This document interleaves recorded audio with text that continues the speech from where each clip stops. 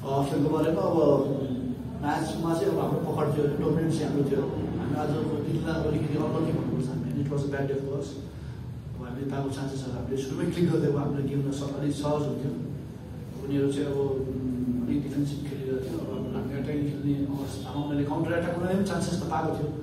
अनि it was fifty fifty अफेयरै थियो एउटा तर क्लियर चान्सेसहरू चाहिँ हामीले धेरै बनाएको थियौँ। र हामीले त्यसमा चाहिँ युटिलाइज गर्नु सक्दाखेरि हामीले एकपल्ट चित्त बुझाउनु परिरहेको छ के छ? अन्त विदेशी खेलाडी ल्याउने सोच त छैन नि अहिलेसम्म त हाम्रो त्यो सोच केही पनि छैन अब मेबी अब अहिले जुन डिसिसन ल्याएको छ त्यसलाई हेरेर अब मेबी अब नेक्स्ट इयर अथवा के हुन्छ अलिकति हाम्रो फिनिसिङमा त्यो जुन कम्बिनेसन जुन हुनुपर्ने स्ट्राइकहरू बिचमा एउटा अलिकति हामीले ल्याकिङ भयो भनौँ अनि पाएको चान्सेस पनि सबैले खालि पाएको चान्सहरू त्यो स्कोर नहुँदाखेरि हामीले अलिक हाम्रो I'm zo de bedoeling van